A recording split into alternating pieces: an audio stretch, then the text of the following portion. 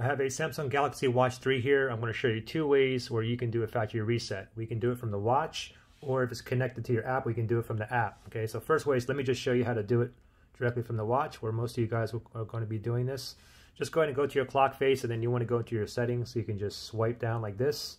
Your settings icon is right there. Let's tap on that. And then from here, you want to go ahead and you want to scroll down until we see General right here. Tap on General and then scroll down until you see reset. Tap on reset here. And now take note, uh, you can go ahead and back up your data to the Samsung Cloud before resetting so you don't lose your information because you can back up, re factory reset it, and then you can go ahead and uh, retrieve all your um, saved data back onto the watch.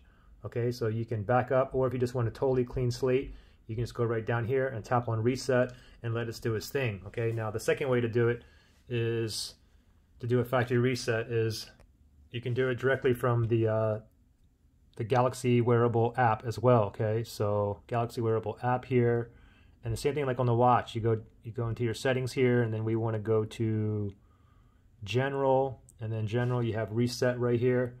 Tap on that if you want to proceed. Go ahead and tap on that. So pretty simple. Good luck.